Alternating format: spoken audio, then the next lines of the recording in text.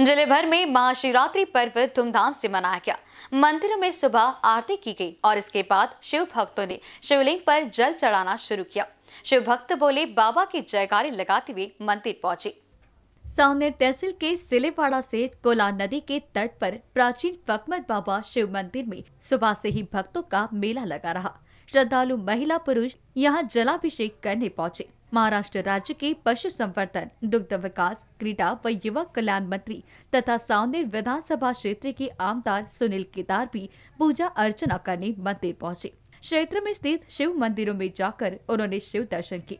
वहीं लोगों से मिलकर कोरोना के बढ़ते प्रकोप की रोकथाम के लिए सरकार द्वारा दिए जा रहे दिशा निर्देश का पालन करने का आह्वान किया।